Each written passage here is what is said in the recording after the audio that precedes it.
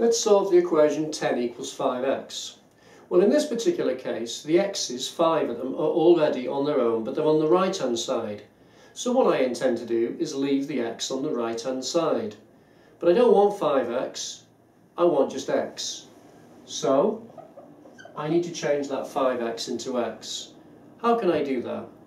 Well, we simply divide by 5.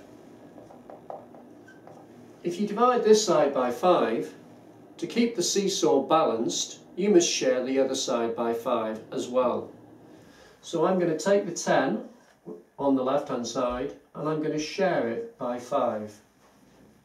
Now we work out 10 share by 5 on the left hand side. 10 share by 5 is 2.